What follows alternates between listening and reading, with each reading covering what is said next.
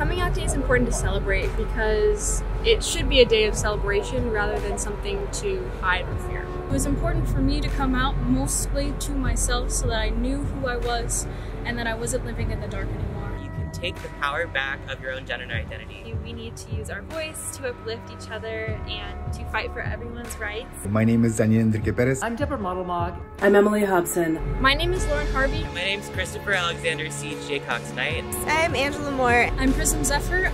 I'm Geneva Wolfe. I'm proud to be non-binary. And I am proud to be out and queer. And I am very proud to be a transgender man. And I am proud to be an ally of the queer I'm a proud member of the LGBTQ plus community. And I'm proud to be an LGBTQIA plus ally. I'm an associate professor of gender, race, and identity and history at UNR. I'm proud to be queer and to research and teach liberation movements. I'm an associate dean of the College of Liberal Arts at UNR, and I am very proud to be gay and Chicano.